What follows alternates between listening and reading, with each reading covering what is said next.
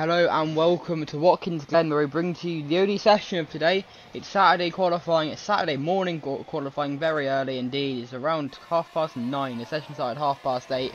Of course the hour of qualifying they get, the three knockout sessions. It's not that, it's a 10 minute session, but um, we pretend it's an hour. But um, yeah, Nico Hulkenberg currently on provisional pole. What a race he had at the sprint race. Or a sprint race he had, I should say he was qualified third. He was so unlucky. He could have easily got pole in that. Of course, remember it was half the circuit.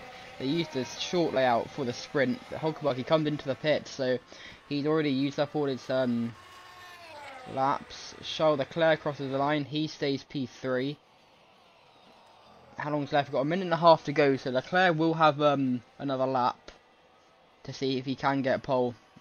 Of course, normally we come in near the end, but uh, we thought coming a little bit earlier on today. Why not? There have been some little few delays to qualifying. There was a red flag for debris at one point earlier on. Not. But, um,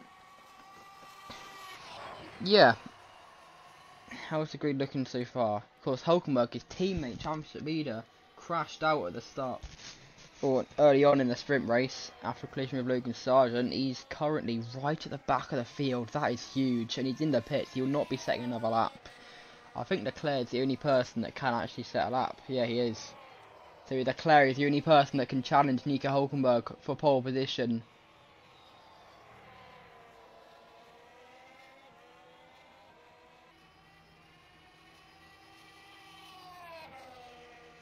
So let's see. How will Leclerc do as he crosses the line? Can he get a pole? The reigning world champion is to be massive for a championship. No, he can't. He is P3, which means that Nico Hulkenberg will be on pole for the US Grand Prix in the Haas car. What a story that is for the team that's battling out for Constructors World Champions. You would not expect that from a Haas car.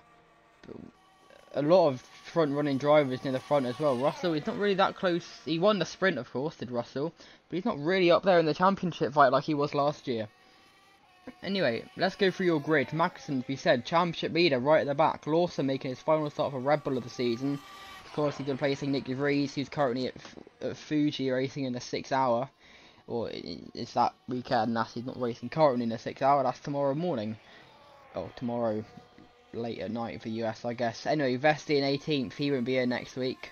So it's a poor qualifying for him. He didn't do, do a great qualifying in a sprint and it ended up finishing, I think, 8th in the end, or 7th, I'm not too sure. Anyway, Iwasa 17th in what is his probably final qualifying session in Formula 1 because there aren't really that many seats opening up for him. It looks like he did have a very solid sprint race though until, well, sprint qualifying. Not a great sprint race, unfortunately, due to some incidents. Anyway, Maloney in 16th. This will be his final start of the season, but he will be back, I'm assuming, next year in 60. Um, in this very, very seat. Sargeant 15th in his home Grand Prix. Um, of course, he did finish in the points before getting a penalty for that collision with Magnussen.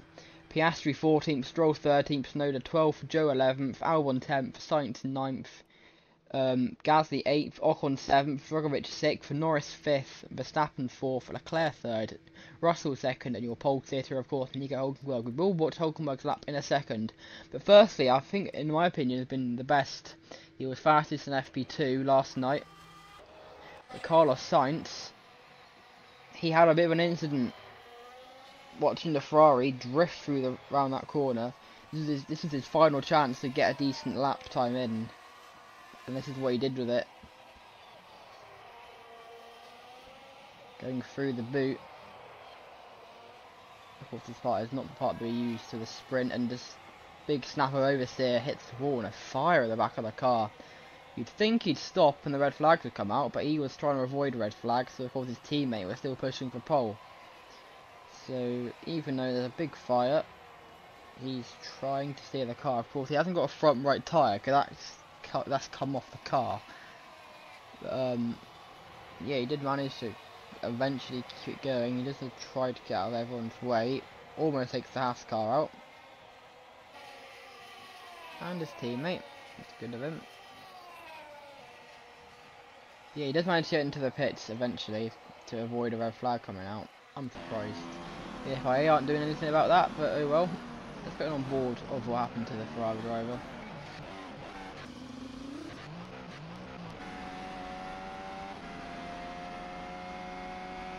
Goes out the exit of the boot towards the sprint layout. Um, you can see the car just get too hard in the throttle over corrects it and then just can't slow the car down and into the barrier he goes. Anyway, Nico Hulkenberg is the man on pole. Let's have a look at his pole up.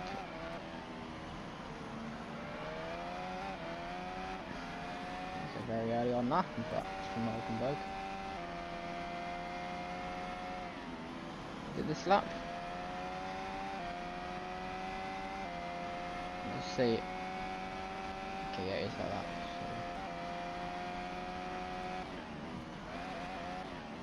Let's have a watch of Hulkenberg's pole lap then.